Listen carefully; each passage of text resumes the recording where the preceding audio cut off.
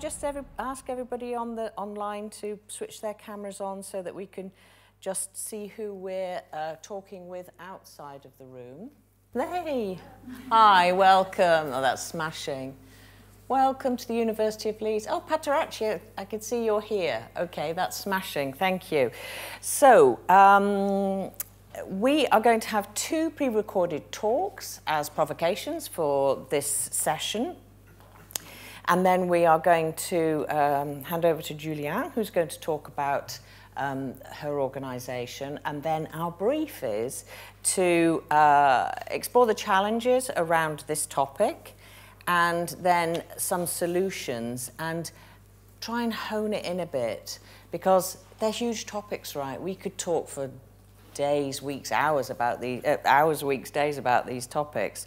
Um, but this is just a starter for 10. So the idea is that we kind of maybe hone in on a couple of these challenges and potential solutions that will then feed back in main plenary. Is that okay? Great. Okay, I'm going to ask my colleagues at the back then to play the two um, talks that we have online. Thank you. Good morning. My name is David Wiley. My assignment today is to be provocative and issue a call to arms that challenges you, the delegates at this meeting and the signatories of the Declaration on the Knowledge Equity Network, to be ambitious in your efforts. I'll attempt to accomplish this assignment by stepping back and sharing a vision of the network in its broader context. If the goal of the network is to help the world overcome unprecedented challenges, including climate change, economic instability, inequality, and poverty, as the Declaration itself implies, the network will have to catalyze an equally unprecedented amount of innovation. As our current approaches to addressing these challenges are proving woefully insufficient, novel, innovative approaches are required if these challenges are to be adequately addressed. It's not the role of the network to create these innovations, of course. The network's role is to catalyze these innovations. The innovation process is typically both expensive and time consuming. Historically, this has led those who desire to innovate to seek major funding from governments, philanthropy, and venture capital. The limited amount of funding available from these sources, combined with the expense of innovation, has led society to make relatively few investments in potential innovations that could address global challenges. If you're an academic, you may hear this line of reasoning as leading up to a call for an increase in the funding available to academics, researchers, innovators, and other entrepreneurs. But that's not my intention. The Knowledge Equity Network and its focus on open, collaborative approaches points to another possibility. Rather than eternally seeking more funding to support the increasingly expensive enterprise of innovation, what if we reduced the cost of innovation? What if we democratized innovation so that a thousand times greater number of approaches to addressing global challenges were imagined, tested, and evaluated? Dramatically increasing the amount of innovation activity happening globally will be key to unlocking solutions to global challenges. And this is true for at least two reasons. The first is that while we speak of global challenges, these challenges are all lived and experienced locally by individuals and no matter what training or university degree or work experience you may have, you do not understand local problems like the locals do. When the time comes that we discover reusable design patterns that can successfully address critical problems like climate change and poverty, those patterns will need to be customized before they can work locally. And no one will know a priori exactly what that customization will need to look like. Consequently, the success of these reusable design patterns will depend, in part, on the existence of a broad, diverse network of innovators who can imagine, test, and evaluate local implementations. The second reason we need to dramatically increase the amount of innovation activity happening globally has to do with the power of evolution. Linus Torvalds, the creator of the open source Linux operating system, explained that power this way Quote, don't ever make the mistake of believing that you can design something better than what you get from ruthless, massively parallel trial and error with a feedback cycle. That's giving your intelligence much, too much credit. Close quote. If we hope to see the kind of massively parallel experimentation Linus describes, we must decrease the cost of innovating. Linux and the rest of the open source software movement provide an instructive example in this regard. The combination of open copyright licenses and collaborative software development practices have resulted in open source operating systems like Linux, open source web servers like Apache, and open source content management systems like WordPress. Today, right now, the majority of the sites on the World Wide Web run on open source technologies, billions and billions of pages of content. The majority of the internet's technical infrastructure is open source, meaning it's free and flexible to use and experiment with. This freedom from cost and freedom to act has democratized participation and innovation on the internet on a scale we've never seen before. And this brings us back to education. Higher education, as it is currently structured and organized, is one of the approaches to addressing global challenges that is proving insufficient at catalyzing the necessary degrees of innovation. The creation of the Knowledge Equity Network is an implicit acknowledgement of this truth. Perhaps before we delve further into how the Knowledge Equity Network might catalyze critically important innovation in other sectors, we should begin closer to home and interrogate the network's potential role in enabling radical innovation in the higher education sector itself. As I described a moment ago, Unprecedented amounts of innovation online have been enabled by an open, collaborative, and complete infrastructure that makes experimentation extremely inexpensive and fast. If the Knowledge Equity Network were to help catalyze an effort to create an open, collaborative, and complete educational infrastructure, what would that look like? Let me narrow the scope of the question to the realm implied by the text of the Declaration let me focus on the intellectual infrastructure of education. What constituent parts comprise the intellectual infrastructure of education?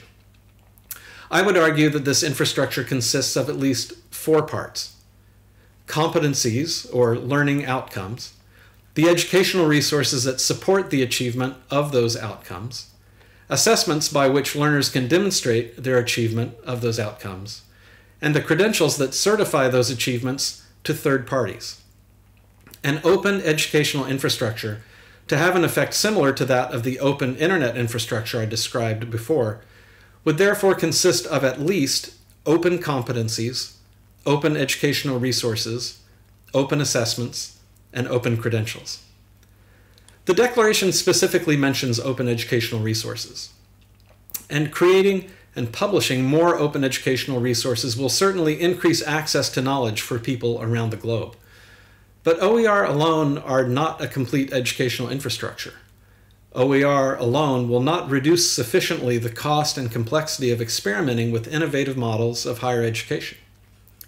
If the network is to enable the kind of massively parallel experimentation in education that led to the explosive growth of the internet, a complete and open intellectual infrastructure for education must be created, shared, and maintained openly and collaboratively.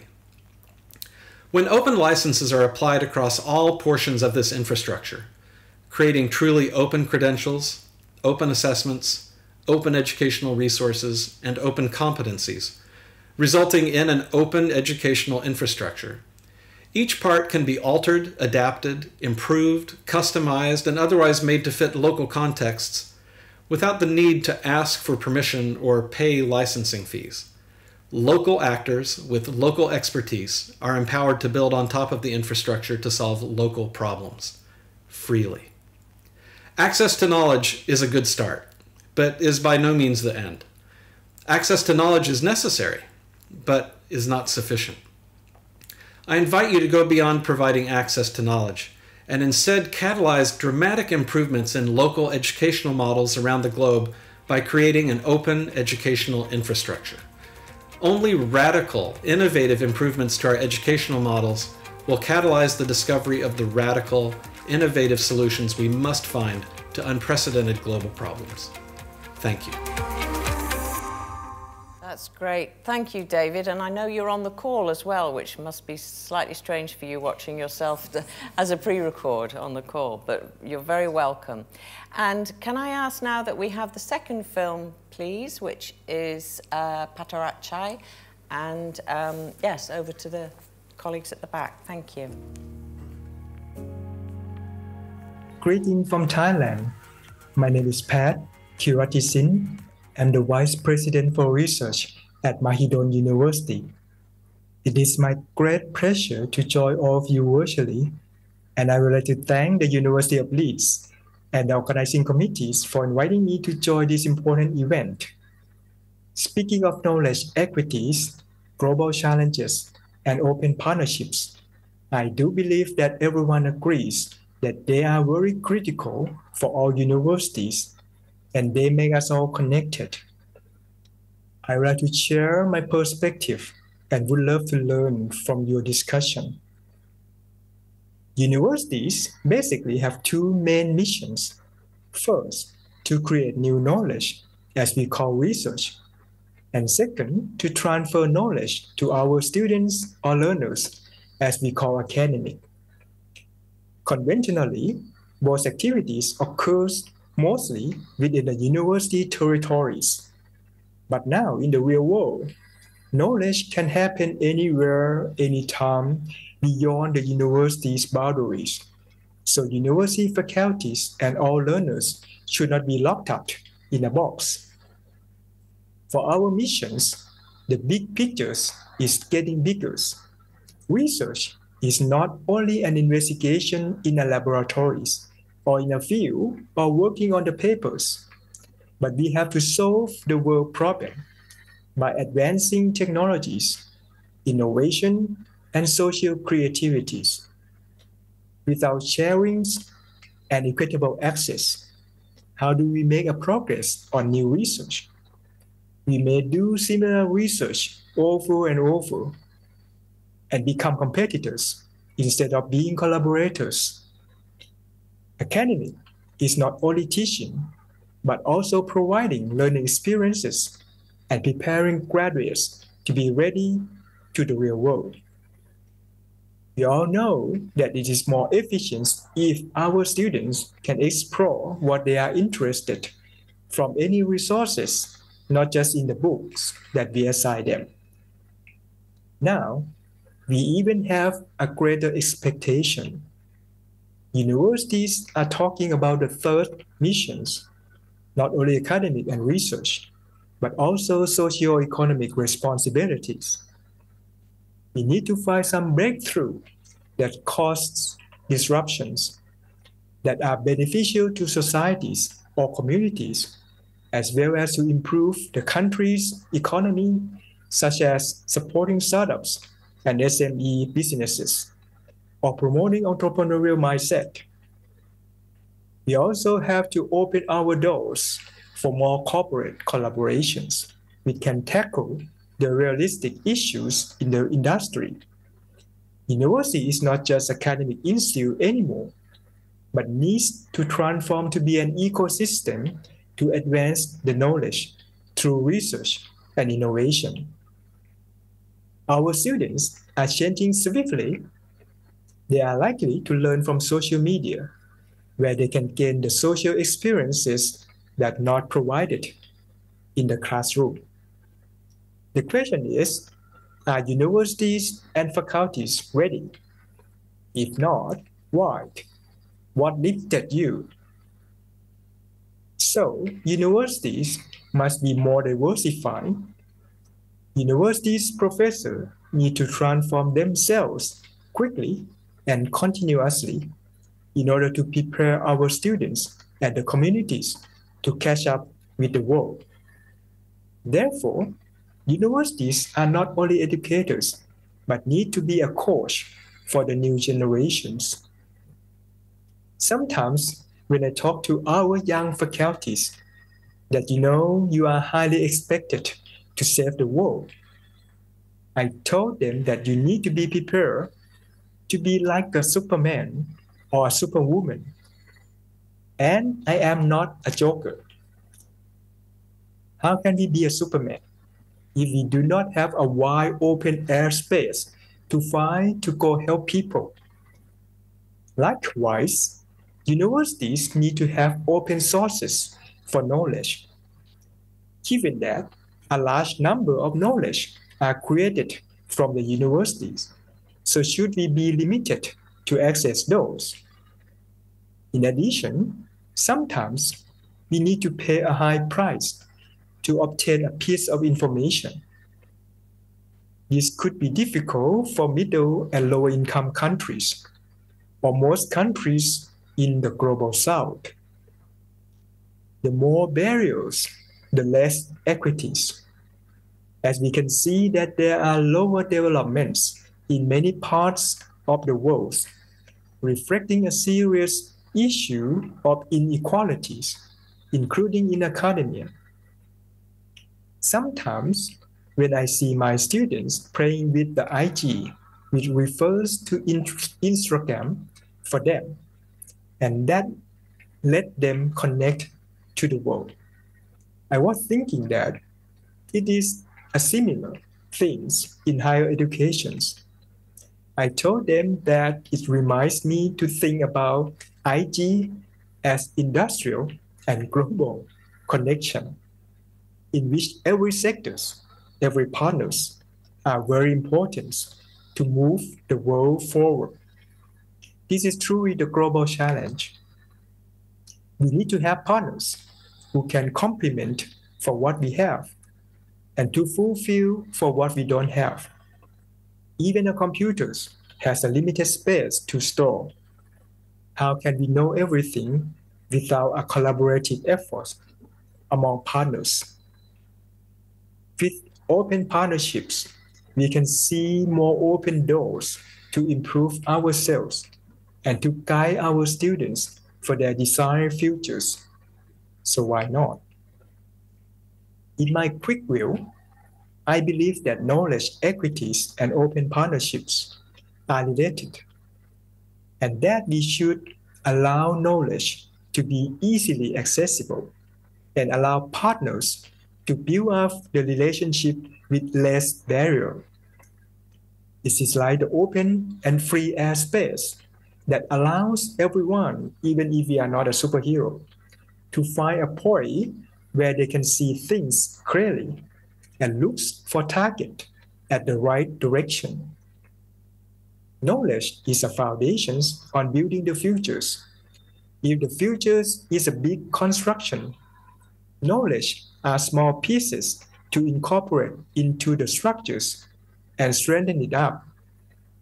An engineer cannot build the whole building.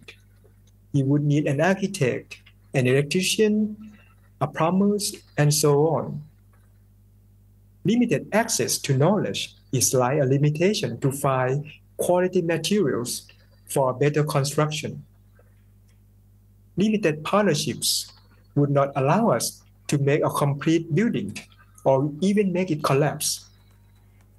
Therefore, knowledge equities and open partnerships are important components to make our sustainable futures. Thank you very much for your attention. Thank you. Could we thank both of our speakers who are online? Thank you so much. And I'd like to invite you, Juliane, to uh, respond and also tell us about your work. Yeah, thank you. Hi, everyone. Um, my name is Juliane Granly. I work for ICDE, International Council for Open and Distance Education. We are the oldest association for flexible and distance learning. And I'm here both responding and, and uh, summarizing somehow uh, the two videos you just saw and to give a few reflections. So first of all, ICD as a membership organization, we truly believe in the power of networks. Um, really is at the core of what we do and, and what we think is the one of the most powerful ways that we can impact change together. Now, education needs to change. I think everyone that is here uh, are in agreement. Um, we can probably also agree that education is already changing quite drastically. It has changed quite drastically since uh, 2019 uh, for obvious reasons. There's a couple of changes that we're seeing. Some of them we've talked about today.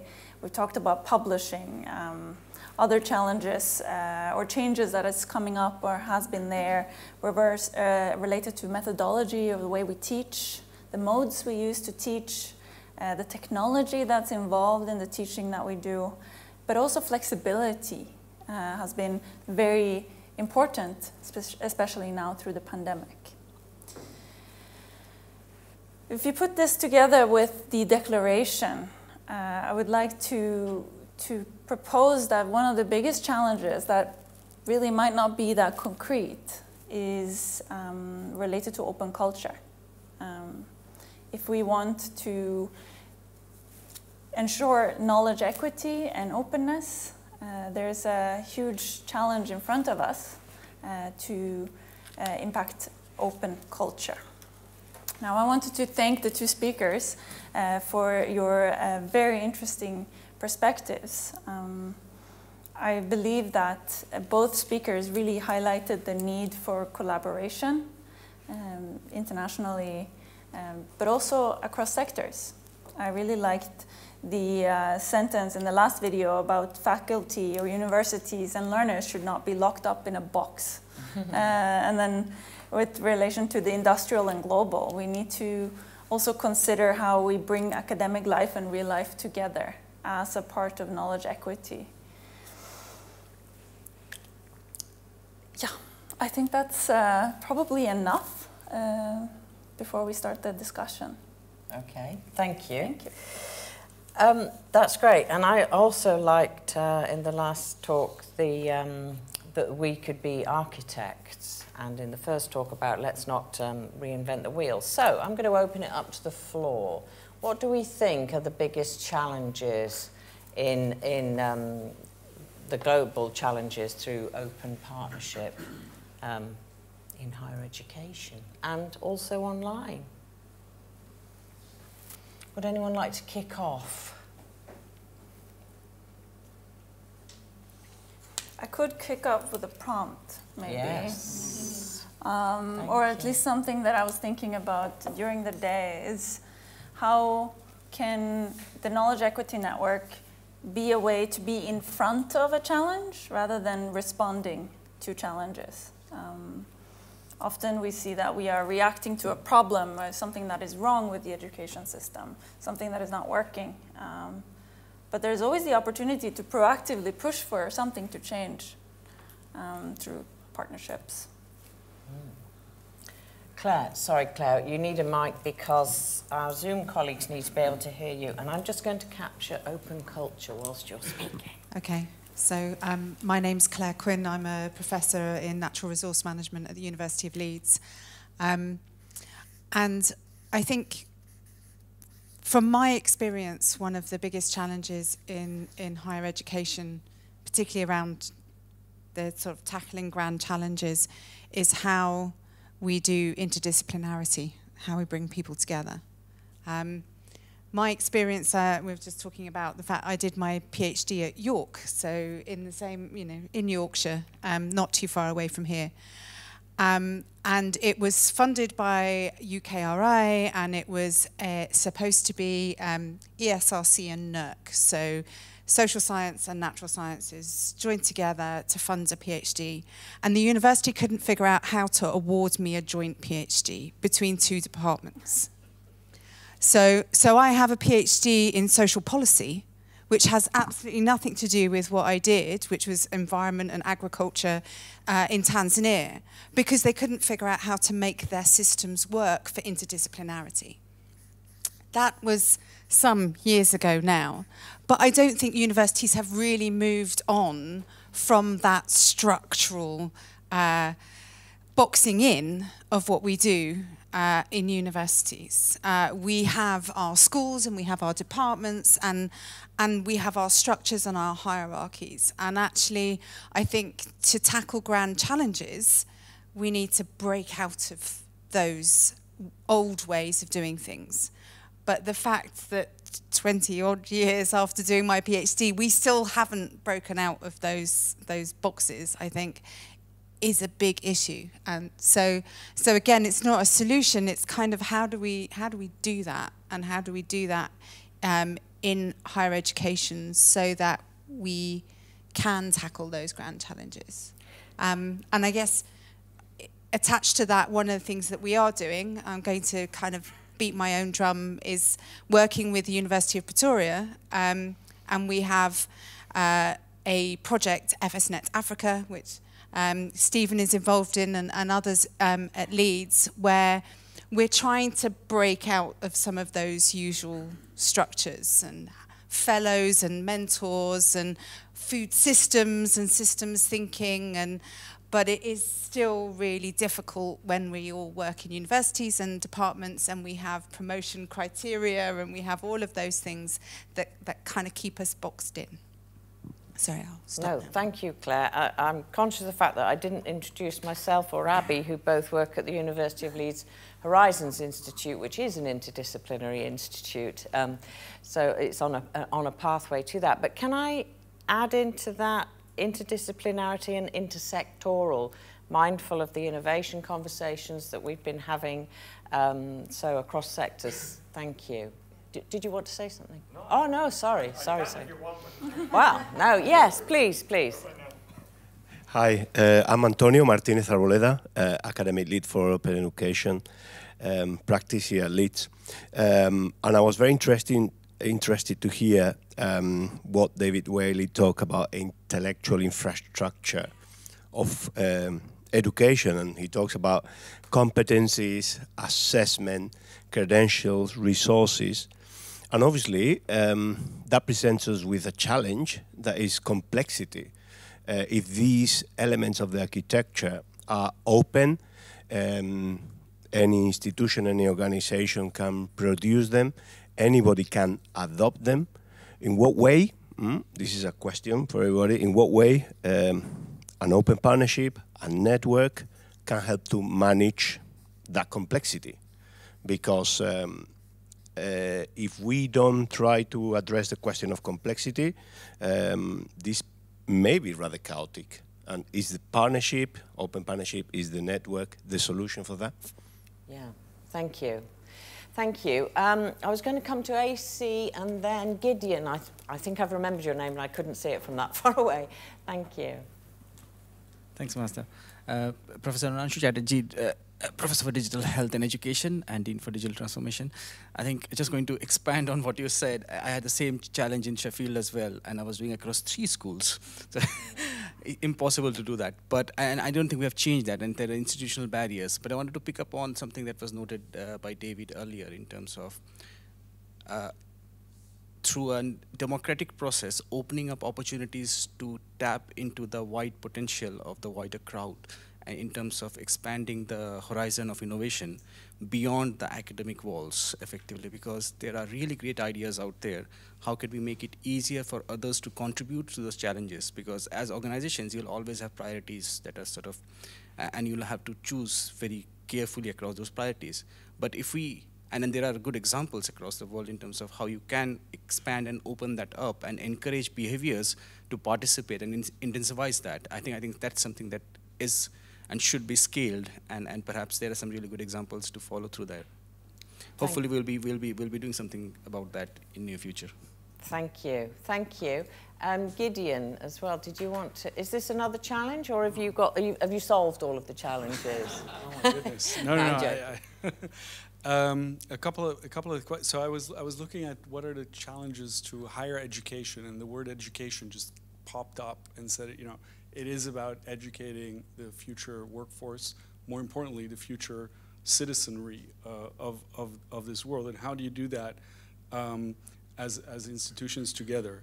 And uh, th there were two things that I thought, like, uh, can, can, we go back to what are the core values uh, as researchers, as teachers, as institutions that we want to kind of uh, work on together and, and we ad adhere to? So I think values, like a value-driven approach, like, and, and those can be three things, right? Um, that, uh, that, that matter. Uh, and the other is uh, recognition. Like, how do we recognize people who do that? And how do we make sure that the incentive structures are also conducive to that?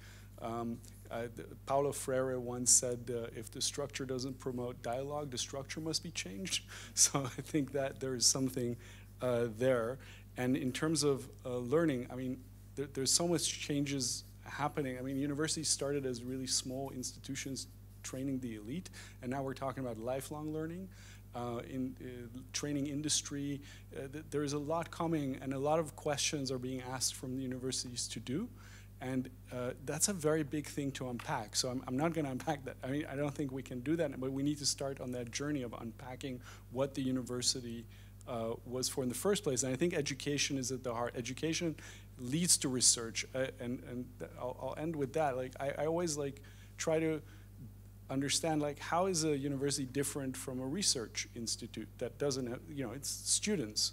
So how do we leverage the fact that we have students in an institution that are learning, that are young, eager. They don't know as much as the professors maybe, but you know that that is what makes a university different. So can we jointly bank on that? And, and uh, an example was in Europe, at least, the Erasmus program. When it comes to exchange, when it comes to kind of bringing people together, and now you can do that physically and digitally, I think there is something there in terms of open education that, that we might want to capture on. So sorry for the rant. No, that's great. Thank you. It's, uh, uh, I, am just going to come to a colleague online, and then I'm going to Juliane, and then I'll come to you. Is that okay? Uh, I, I'm just conscious of, um, I'll take that. I'm just conscious of us putting more and more challenges. We need to, there are some challenges we need to start thinking about solutions as well. But please, is it Kim? Uh, it's actually Igor. Oh, sorry posted a question in the chat, which I'm going to relay to you. I'm afraid it's two more challenges. Um, so, competition, as we've heard about this morning, um, he wanted to highlight again as a challenge to global open partnerships. Um, but also the lack of clarity about common goals when initiating collaborations and partnerships. So, lack of clarity about goals. We do also have Kim, who is online. Would you like me to hand over to Kim? Uh, yes, and then I, I will go to Juliane. Okay. Thank you. Kim, would you like to turn your camera on and we will see you on screen? Thank you. Just checking if you can see me now. Yes, great. Uh, first of all, I want to thank all of the speakers for their inspirational, provocative uh, speeches. Uh, and also for all of the very interesting comments in the in the room there with you and Lise. I specifically want to shout out to Antonio, who I had a great conversation with leading up to this summit, as well as to to see Gideon there, who is a former colleague of mine when we both worked at Leiden University with Simone. So it's great to see you there in the room. Um, I'm still very much puzzling after the plenary uh, part of our summit on the challenge of power and how to uh, uh, give more people power in the knowledge production processes. Um, but you asked also for more solutions rather than challenges. Um, so I want to highlight how at Utrecht University we're working on uh, including more external stakeholders in our education as a way of open education. Uh, and that's through community engaged learning. So we work on um, societal challenges identified together with partners, um, either in the city or our region, but also internationally. And we see how we can bring students, teachers, and external stakeholders together to learn more about those challenges. Uh, and I think it will be really interesting to um, see with each other, with this inspiring group of people here, whether we could set up some sort of network on international forms of community engaged learning where we work from our local uh, communities uh, together on global challenges. I think this network will be great um, to connect all of the different localities there. Thank you so much. That's brilliant. Thank you. Um, Juliane, can I go to you? Yeah. So, based on a couple of the comments here, I was thinking about how a network uh, really serves beyond very tangible things. It serves as a space for, for inspiration and, and knowledge exchange, and that's probably the most let's say, important solution, in, in my view, that a network can do. It's not a, uh, let's say, it's not a tangible output necessarily. Um, but I wanted to, to or I got, was reminded about Curt Rice's question in the, in the plenary, uh, where he used the word activists and kind of uh, advocacy. And I wonder if when when institutions and organizations are, are signing on to this declaration, it could also be in, um, serve as a way to say we will be the activists or the value keepers or kind of the protectors of knowledge equity jointly. Um, I won't say there's a very tangible uh, solution here, but I think that in itself um, is of incredible value. Okay, and how do we make that come to life and spring to life after this? Thank you. Yes, Manuel.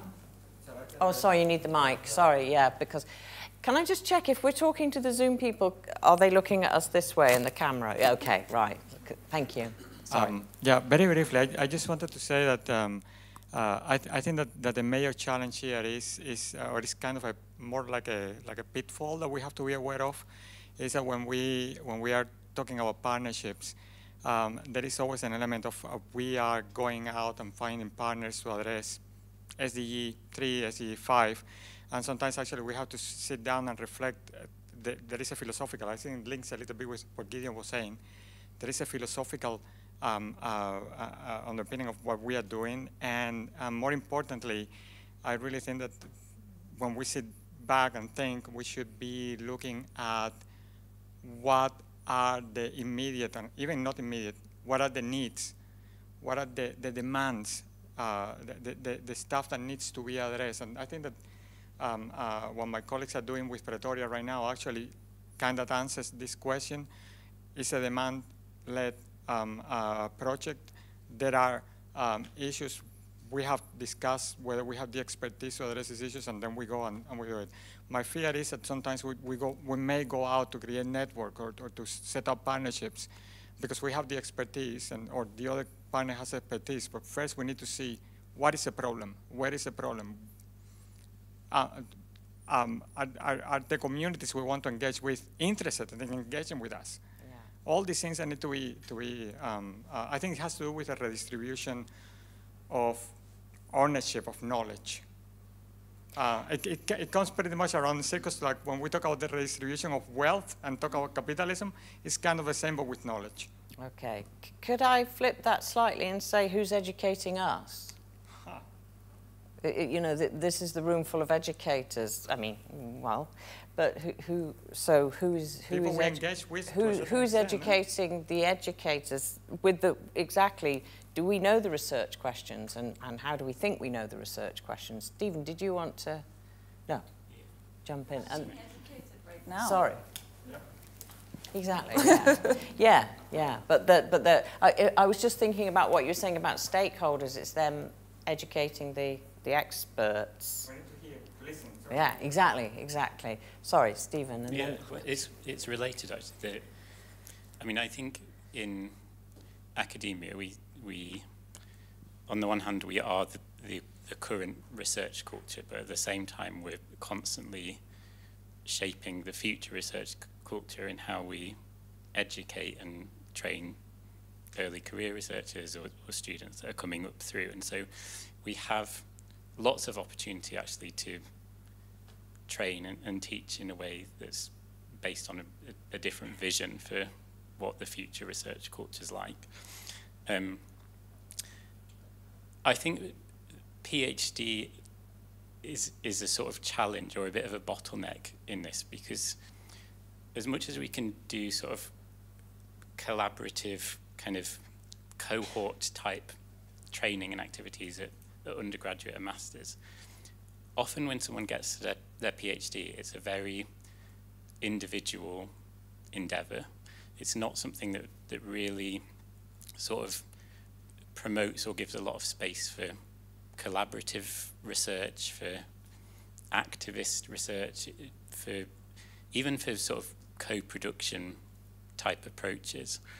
Um, and I wonder if that's kind of a, a key sort of point to target when it comes to our solutions? Like how how do we kind of envision or, or create a different type of PhD and a different type of PhD student and a different a different way of assessing a PhD that, that puts more value on collaborative approaches and, and interdisciplinary approaches and activist approaches. Um, nice. And, and maybe that, that sort of trains PhD students in, in open research and open education. And, yeah. Ooh, I can feel a new model. I'm coming to you, Louise, straight after. I'm sorry, I can't see your name card. Margaret, Margaret you need the, uh, thank you, Margaret. And then I'll come to you, Louise. Thanks. Thank you very much, Margaret Korosek, uh, University of Leeds. I just wanted to touch on um, perspective, uh, also what uh, was mentioned earlier about ways of knowing. I think there's something about the knowledge exchange, but there's something about an experience exchange. How do we know those perspectives? How can we even look at the solutions if we're just really hearing ourselves as the audience? We're not really hearing or listening to those other perspectives. It's more about pushing our own perspective through as that solution. So there is something about an experiential, you know, exchange or what is the experiential equity in, in this equation? Uh, because I don't think we'll really get to that threshold con concept of, of progressing beyond where we are now until we really have that, that experience and it touches on the Erasmus experience, being an exchange student. When we hosted visitors from University of Pretoria last week, they mentioned professional exchanges. Mm. And I was the first to put my hand up to go to Pretoria. so it is about, you know, what does it look like to go into another setting and experience that. Yeah, brilliant. And that's part of the Global Academy Programme of Horizons, but I'm not here to promote that. I'm going to Louise, then I'm going online, then I'll come to you, if that's okay. Oh, sorry, Caroline, I missed you. Uh, hi, I'm Louise Heary, and I work in global research development. And I kind of think that maybe I'm one of the people who needs to be converted by this event because my role is really to bring in funding for global research, and that is not equitable at all, uh, or mostly it isn't. But the first speaker talked about the democratization of collaborations, and he also mentioned that um, in research and innovation we don't need more funding, and that may be the case, but we do need to change where the funding is going to. I think Claire talked about FSNet Africa, and um, that is a program, most of the funding goes to African researchers, and very little of that funding comes to us here in Leeds. It's also, true, uh, it's also true I've worked on lots of projects with um, people who've been collaborating with India or different countries in Africa, and they have needed to do a clinical trial, and there's no clinical trials infrastructure in those countries, which means we end up doing the clinical trial, and with that comes we own the data, we mm. publish. And so I think we do need to think about where the funding is going. And one of the things we can do in the Global North, I think, is talk to funding agencies about where we think the funding should, go in, should be going and try to influence in that way rather than only thinking about influencing, you know, we think this theme, uh, climate and health is the next big thing and that's what we want to do. We need to have more of an inclusive discussion about that and think about who we're influencing and, and how and, and why. Yeah, that's great. Thank you. Thank you, Louise. I'm going to go online and then uh, I'm going to come to, oh no, I'm going to come to Caroline, then you, sorry. And I'm conscious of the time. Okay, um, I've got a, a point from Lucy Talents, which actually refers back to Stephen's point from earlier. And she says, I see empowering students as co creators to be a solution to some of these challenges. We need the diversity of voices, experiences, and local knowledge to solve global challenges. And it also helps to break down silos if learners contribute more. Thank you. I, I'm just going to take those two questions and I might ask Jeff, I might ask you to comment on that. Is that okay?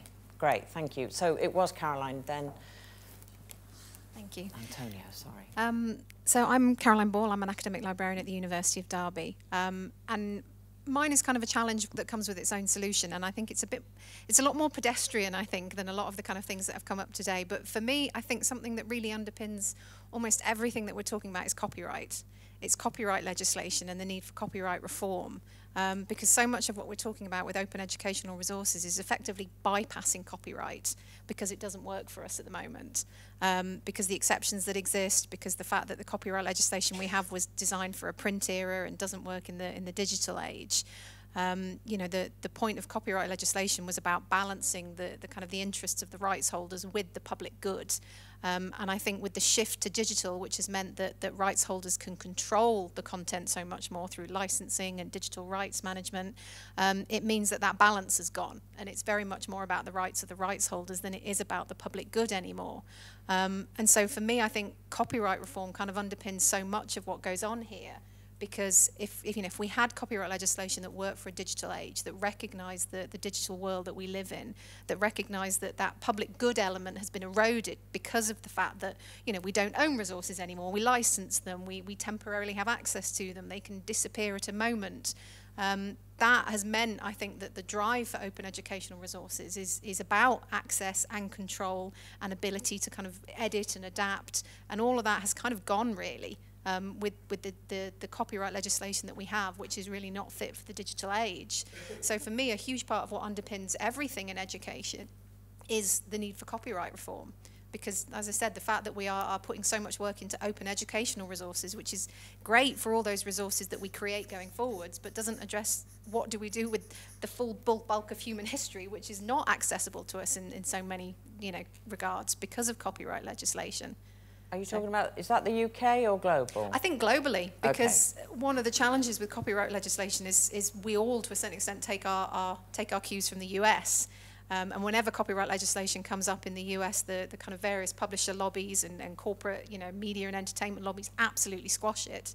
Okay. Um, and then the, the US and the EU particularly very much influences what goes on around the world due to um, sort of trade treaties and okay. requirements to bring legislation in line. So it's, it's, a, it's a global issue. Mm but I think one that can actually have a solution within individual countries if they chose to. Okay, thank you. Thank you very much. Antonio, and then I might, uh, I'm going to ask Jeff. To yes, I'll be brief. Um, okay. Thank you very much. Uh, yeah, following uh, um, from what uh, my colleague Kim Sunderdop and also what Stephen was making reference to about um, knowledge activism. Yeah? Uh, in my view, my experience, knowledge activism uh, has to start at granular level.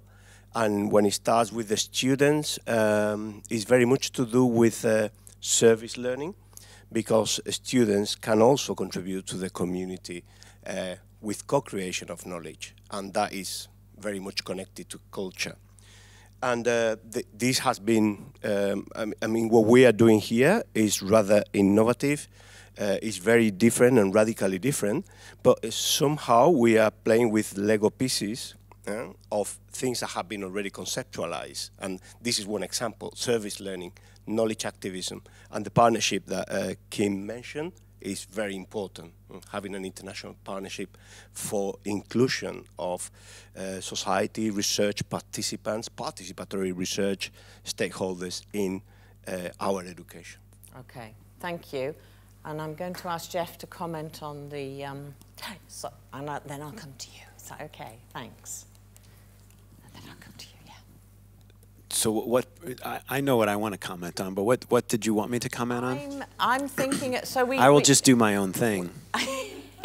well, we kind of we kind of went down the sort of PhD, and then we started talking about bringing students in at a, a level to co-create and the, the question online. So I was thinking, and learning and teaching culture as well. So all of that, Jeff, in, yeah. in a minute. It, yes. yeah, so I'll do my own thing. Um, no, no, okay. no. I think I'll pick some of those things up because I've been, I've been thinking since we started in this session about um, the need to be proactive and not reactive, about the notion of, of open culture that you raised, and about David's notion about open infrastructures. And I think in that in that braiding together of work on open cultures and open infrastructures, that might give us a pathway towards being anticipatory and proactive in this space um, rather than reactive um, and fragmented in this space. N none of those things are easy. And in fact, the infrastructural bit is really interesting, but also not easy because um, open, I've, I, I have done a little bit of work in my time as a researcher on on making technologies and, and open technologies are really hard because they require a community to work on them together for them to have any sustainability. And those don't just magically appear, they have to be curated and created. But there is something there is something breaking right now, I think, in the fundamental infrastructures that do support education. Um, I think we're seeing them break in the way in which some social technologies like Twitter seem to be breaking around us. So I think things that seemed stable to us are now fragile. And I, so I do think there is an opportunity. Um, and universities have, have the ability to think long term in ways that other organizations don't. I think there really is some opportunity to do some serious work at that intersection of open culture and open infrastructures that might actually make a difference. Um, and, and it would all it, it's it's easy in that space, easy. It's imaginable in that space to pull students through in really productive ways, to tap into local and indigenous, indigenous and contextualized knowledges in, in particular ways. Um, anyway, so those are things I've been Googling and thinking about because uh, I think th that pairing those together is it can be potentially very powerful. Brilliant. Thank you. Oh, we could really talk long and hard about this stuff, couldn't we? Thank you. Um, Sala, I'll hand over to you and then Hai Sween. I think we'll probably make that the last comment if that's okay. So, okay. welcome. Greetings to all. Uh, first of all, I would like uh, Keen Committee for inviting me to participate uh, in this event. Uh, in order to, to reducing uh, the um, inequalities and tackling the challenge, uh, we, we, we have to divide it uh, into um, software problems and hardware problems and infrastructure because the participant uh, came from different environments and different levels. Um, equ equity uh, means to, to, to give uh, everyone uh, what we need to be at the, at the same level with other participants. so I, I just mentioned, um, I, I, I, just want to mention uh, there is uh, some challenges uh, lies between software and hardware and policies. Okay, thank, thank you. you. Thank you so much. Yeah, that's something we were talking about earlier, wasn't it? And hi, Swee, I'm going to hand over to you for the last comment because of the time. Not last word. I think last one, word. one important area we haven't touched on is the government's policy and regulations. So the impact on international partnership. That's really, really important because we need to influence the government for that. And, you know, there's a lot of things we need to go through in order to develop partnerships, security related and, and other things anyway. So I think that's something if we don't change, different governments, different countries having different policies, it's very difficult for us to move forward. Yeah. I mean, this is a really good idea, but you yeah. know, in practice, it's quite quite difficult as well. So, shall I put on the solution side, change the government? No, no you can't change it. It will be the same. Well, Anyway. I, I, do think, you know, policy, government's policy and regulation is right. Oh yeah, yeah. Or educate politicians. That's it. That's it. They need to. They need to listen to this. That's it. They need to listen to this. Colleagues, we have run out of time.